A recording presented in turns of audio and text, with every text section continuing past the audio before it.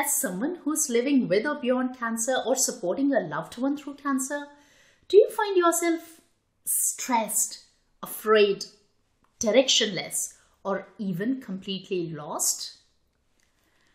Hi, Parul Banka here, coach, speaker, author of the book My Cancer Journey A Rendezvous with Myself, and a cancer thriver.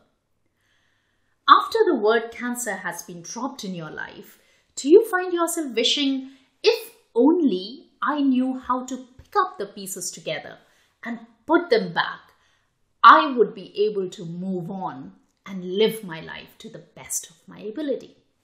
Maybe in your current life, after experiencing cancer, you want to really pick up the work that truly energizes you.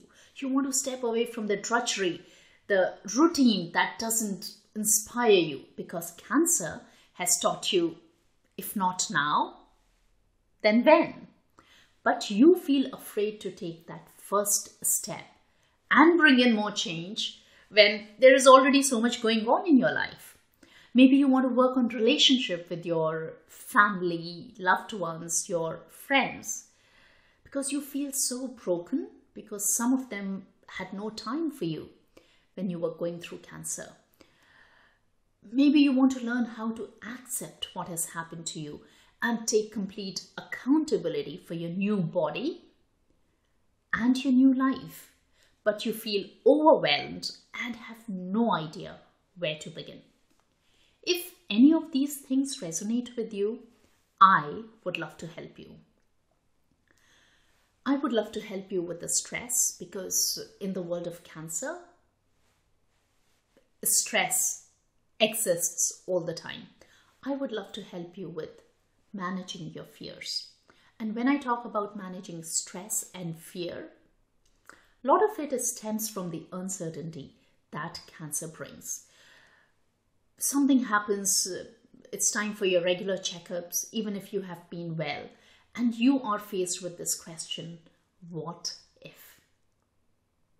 Or depending on the prognosis, you may find yourself thinking, what is the point, anyways? And it is this uncertainty which tends to bring a lot of stress and fear into the lives of people who have been touched by cancer, whether for themselves or when they are supporting someone else who is going through cancer. I would love to help you understand your stress and fear triggers and teach you how to actually manage them and uh, live your life to the best of your ability with joy, with inspiration, because that's what really matters. When something drastic like cancer happens, it not just impacts our body, it impacts our entire ecosystem. It impacts our body, it impacts our conscious mind, it impacts our subconscious mind, it impacts our social relationships, it poses lots of questions on bigger things like even our spirituality. So it's the entire ecosystem that gets impacted.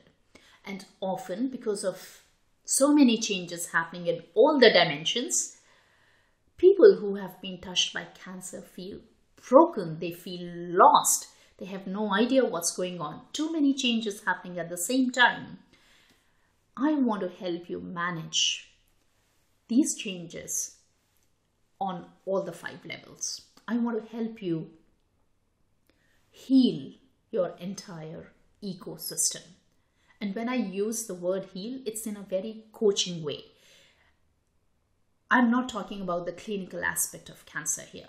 So that's the bit I want to clarify. I want to help you move forward after cancer. Often, when somebody goes through cancer, they feel stuck in their life because of all these things that we have talked about. Too many changes not knowing where they want to go not having the courage because a lot of people felt let down by their own bodies. They don't really know what they can trust who they can trust and uh, a lot of people lose confidence.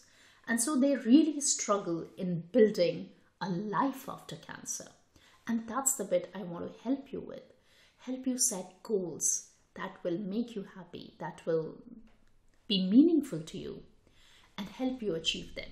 So, I want to help you deal with the stress, the fear. I want to help you rebuild your entire ecosystem.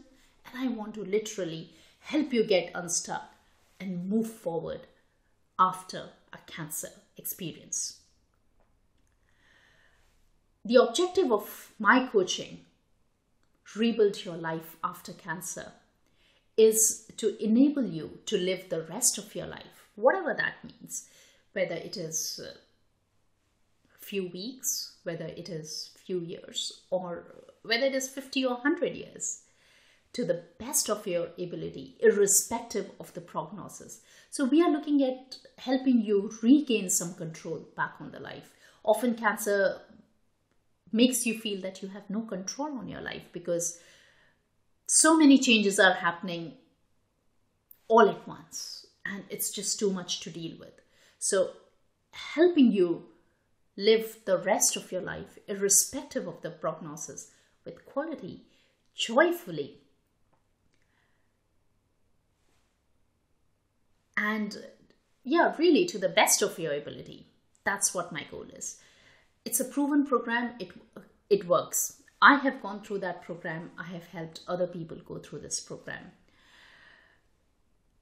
It is so important to get the support when you feel stuck and directionless and lost in the world of cancer because trust me, cancer is not just a bump in the road. No, it's not. It's actually a fork in the road. It's a huge thing that has happened and it's often a time to relook, reevaluate about whatever life we have lived and make different decisions to how we want to live the rest of the life. And uh, that's the transition I want to help you make in a way that's going to be meaningful and choice to you. So, the decision that I am posing before you is whether you want to participate or not participate in living an empowered life. It's about you choosing whether you want to be an active participant in rebuilding your life after cancer or not. And that's the decision I would like you to take. If your decision is yes, I would love to help you. In that case, press the button below and book your free discovery call with me. Let's talk this through. Let's let's evaluate, let's explore what your needs are and if I'm the best person to help you get where you want to get, I would love to share this journey with you.